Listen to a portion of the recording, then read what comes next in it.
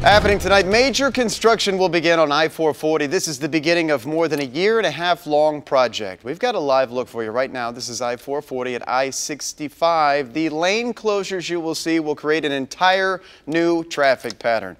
Beginning at 9 o'clock tonight, lasting until 5 o'clock in the morning, only one lane will be open in each direction. Then, starting at 5 a.m. to 9 p.m., Two lanes will be open. Part of the new design will be to create three lanes of traffic in each direction on I-440. And that large grassy medium that you know right in the middle, that's going to be gone. Instead, there will be a concrete barrier in its place. They will also be resurfacing the entire roadway.